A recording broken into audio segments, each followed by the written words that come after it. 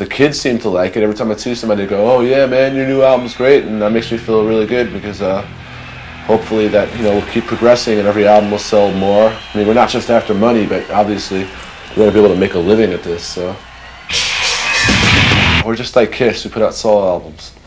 Well, what it is is Glenn is a very talented individual. He can not just play drums, he can play guitar and bass and sing as well. So he just had a bunch of stuff and he decided to record an album and I helped him out a little bit. I wrote like the music to one song.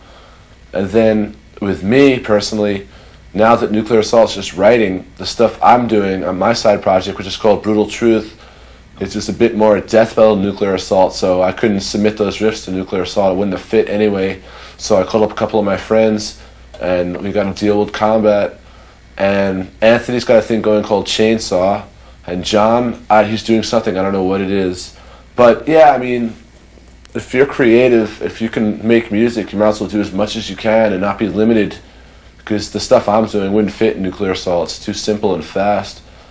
So it's just if you're writing something and it's good, I mean, do something with it. You know, make your mark.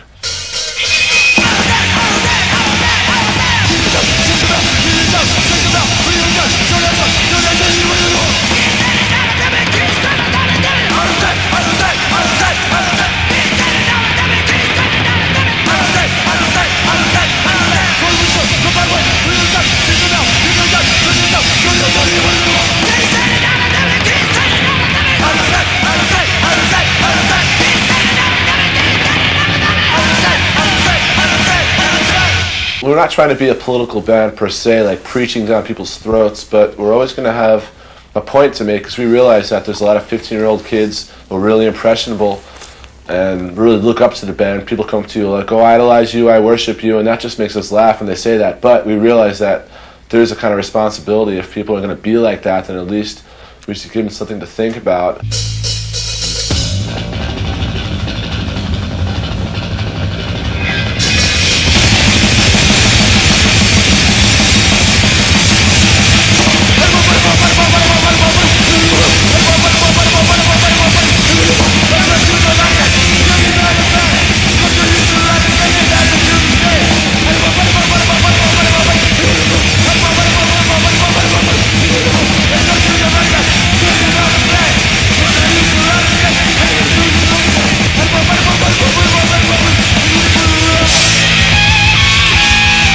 Think there's some kind of force out there, but I don't think it's, I don't believe in the Bible and that stuff, no.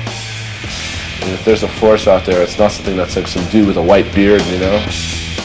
We don't do anything consciously when we write songs, Rob. We just write what we feel. We don't say, hmm, this is a slow song and this is a fast song and stuff like that. We just write what we write and it's nuclear assault. We don't say, hmm, you know, we don't plan it out because the more you plan it out, the more fake it's going to be. It's got to come from the heart naturally. And the only way to do that is just write what you like.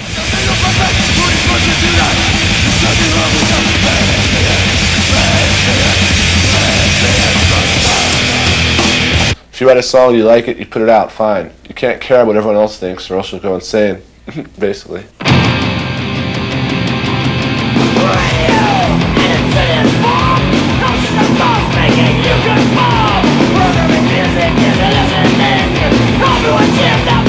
When I'm playing you, we got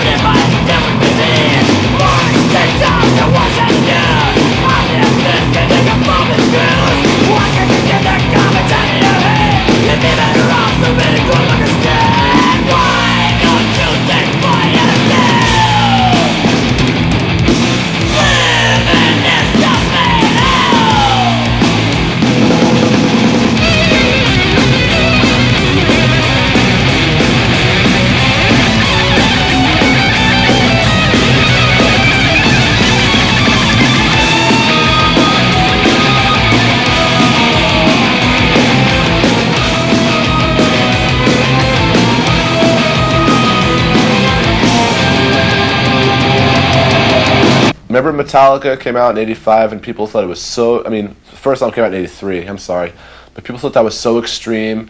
And now they're so big. I think that's a good point. I think that's a good sign.